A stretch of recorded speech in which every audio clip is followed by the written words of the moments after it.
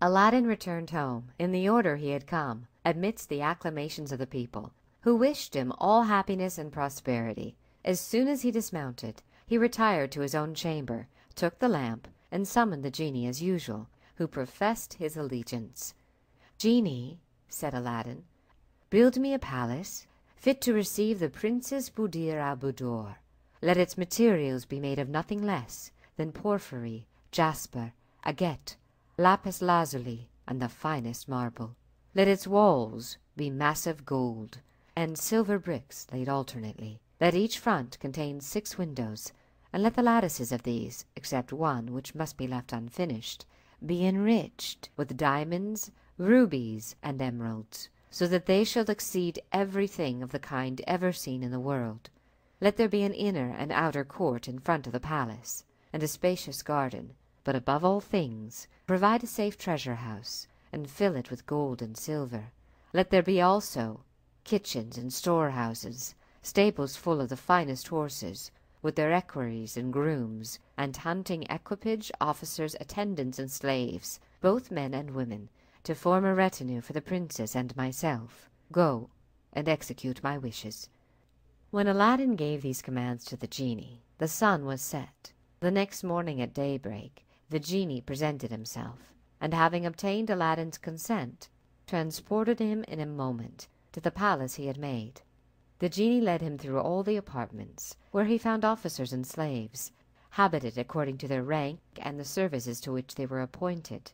The genie then showed him the treasury, which was opened by a treasurer, where Aladdin saw large vases of different sizes, piled up to the top with money, ranged all round the chamber. The genie thence led him to the stables, where there were some of the finest horses in the world, and the grooms busy in dressing them. From thence they went to the storehouses, which were filled with all things necessary, both for food and ornament. When Aladdin had examined every portion of the palace, and particularly the hall with the four and twenty windows, and found it far to exceed his fondest expectations, he said, "Genie, there is one thing wanting, a fine carpet for the princess to walk upon, from the sultan's palace to mine. Lay one down immediately." The genie disappeared, and Aladdin saw what he desired executed in an instant. The genie then returned and carried him to his own home. When the sultan's porters came to open the gates, they were amazed to find what had been an unoccupied garden filled up with a magnificent palace, and a splendid carpet extending to it all the way from the sultan's palace. They told the strange tidings to the grand vizier, who informed the sultan, who exclaimed, "It must be Aladdin's palace, which I gave him leave to build for my daughter. He has wished to surprise us, and let us see what wonders can be done in only one night." Aladdin, on his being conveyed by the genie to his own home, requested his mother to go to the Princess Buddir al Buddoor, and tell her that the palace would be ready for her reception in the evening. She went, attended by her women slaves, in the same order as on the preceding day. Shortly after her arrival at the princess's apartment, the sultan himself came in, and was surprised to find her, whom he knew as a suppliant at his divan, in such humble guise to be now more richly and sumptuously attired than his own daughter. This gave him a higher opinion of Aladdin, who took such care of his mother and made her share his wealth and honours.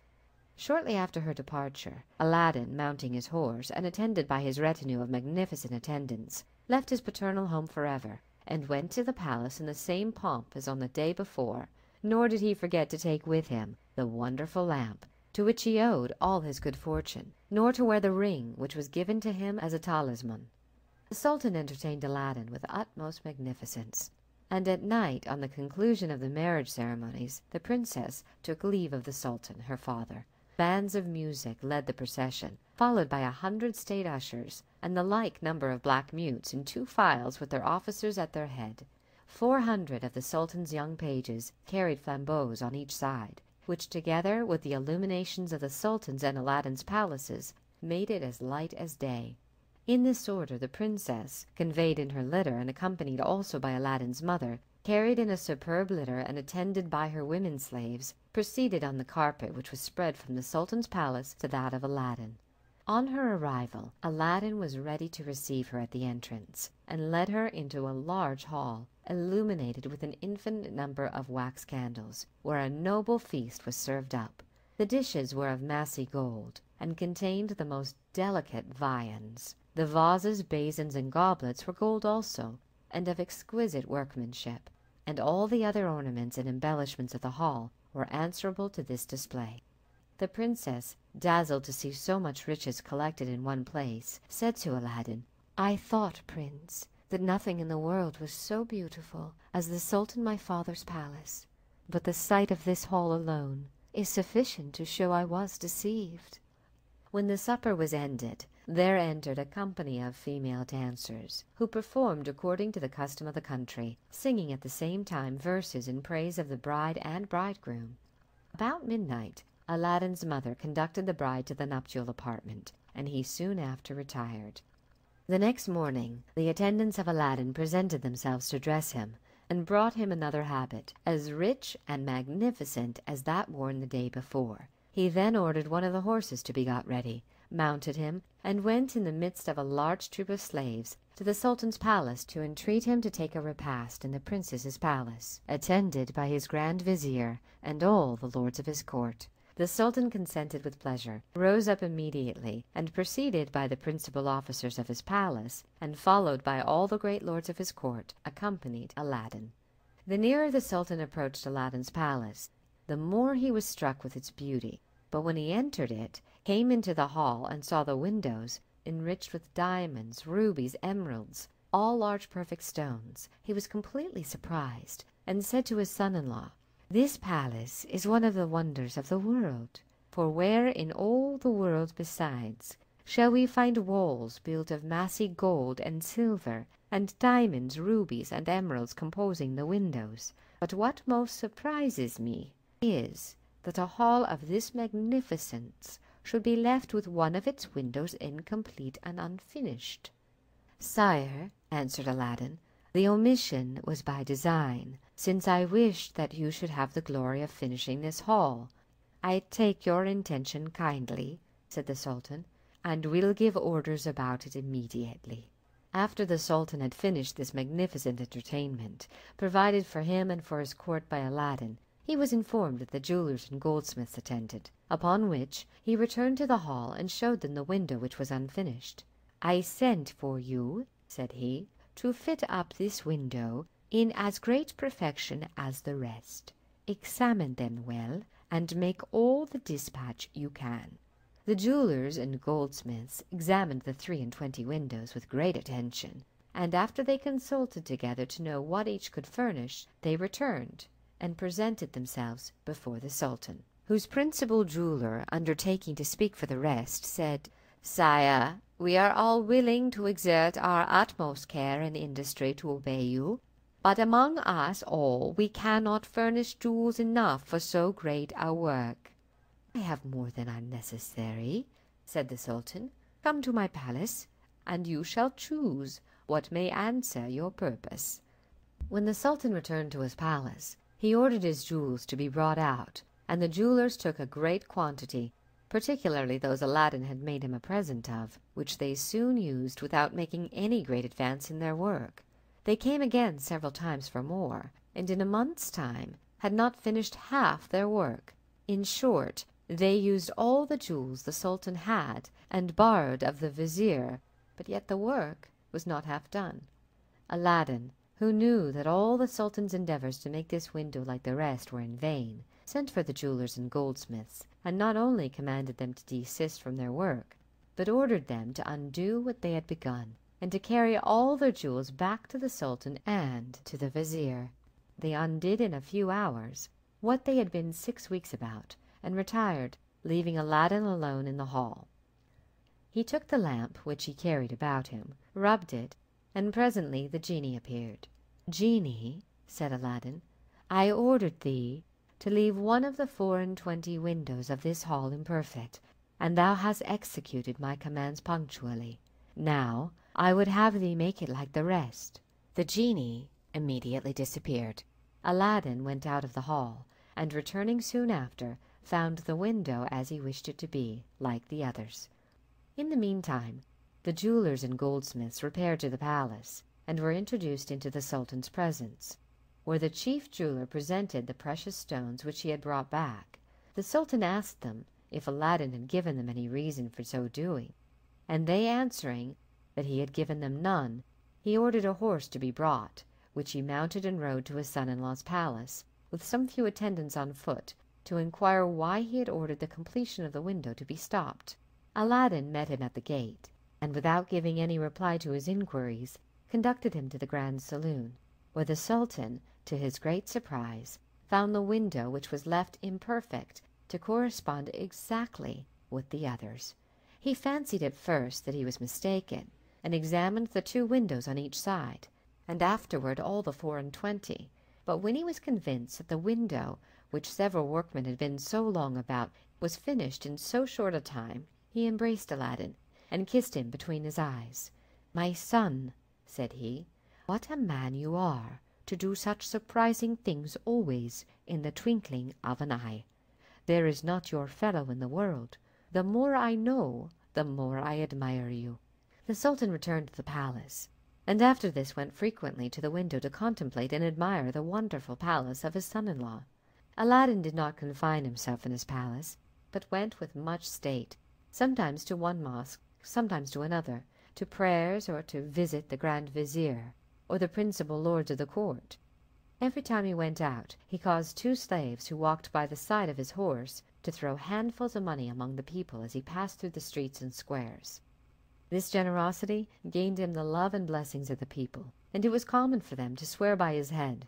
Thus Aladdin, while he paid all respect to the sultan, won by his affable behavior and liberality the affections of the people.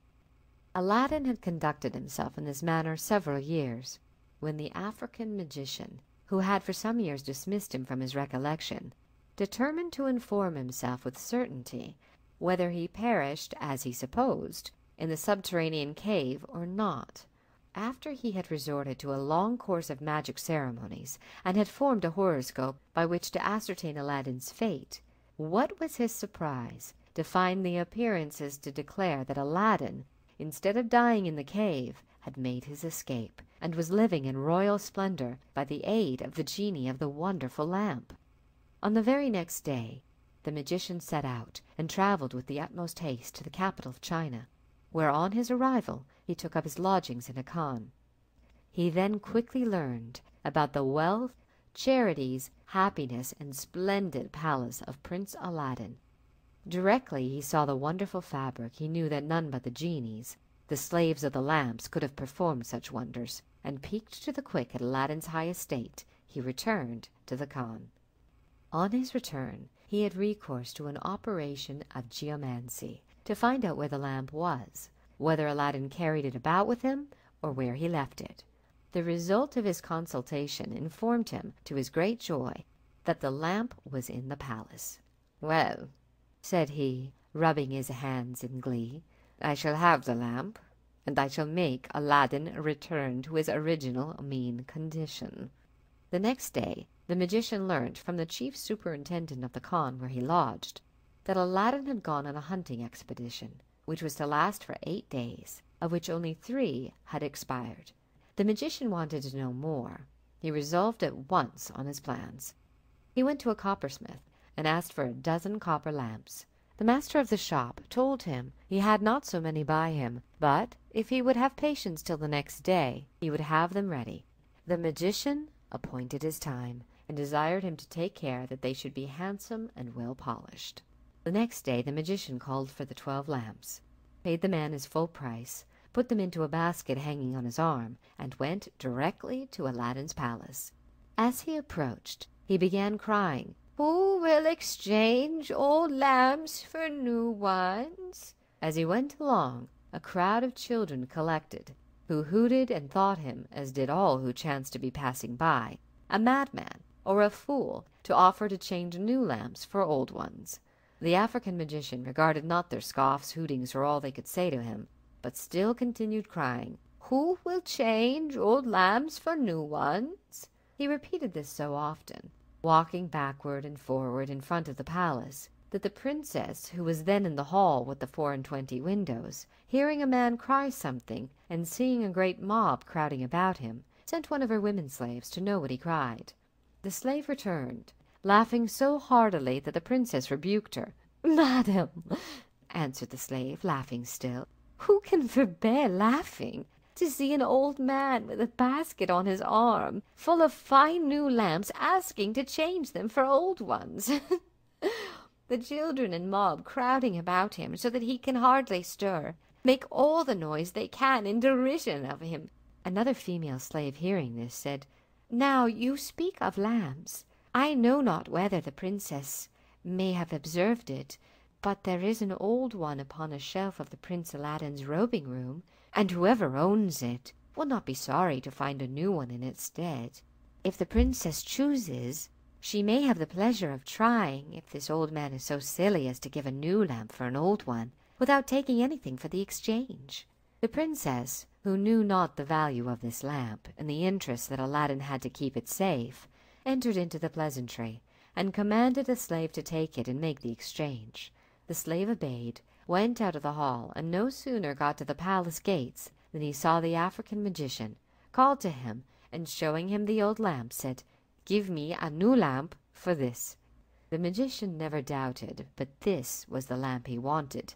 There could be no other such in this palace, where every utensil was gold or silver.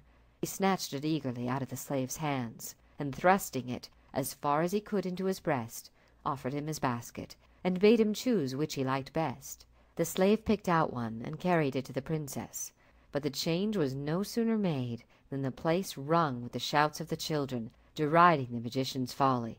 The African magician stayed no longer near the palace, nor cried any more, "New lamps for old ones," but made the best of his way to his khan. His end was answered, and by his silence he got rid of the children and the mob.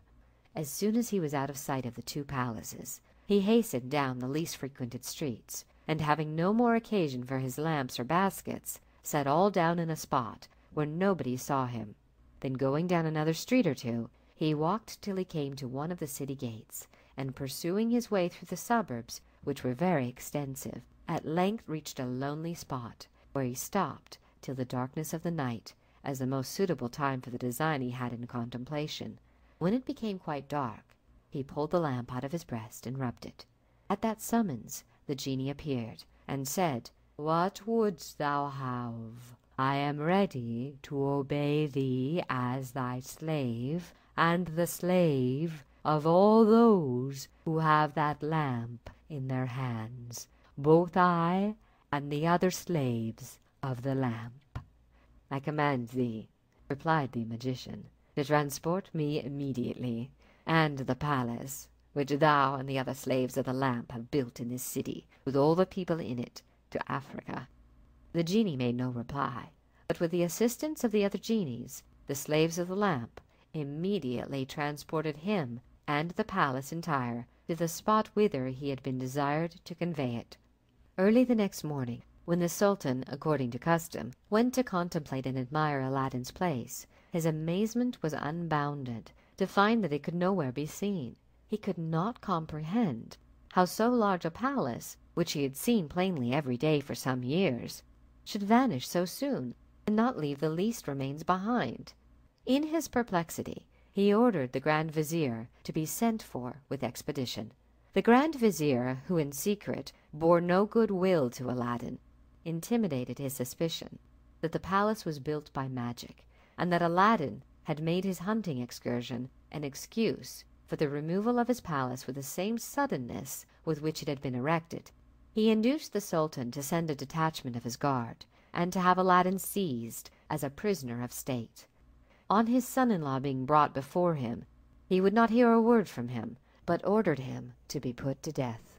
The decree caused so much discontent among the people, whose affection Aladdin had secured by his largesses and charities, that the sultan, fearful of an insurrection, was obliged to grant him his life. When Aladdin found himself at liberty, he again addressed the sultan, "Sire, I pray you to let me know the crime by which I have thus lost the favour of thy countenance."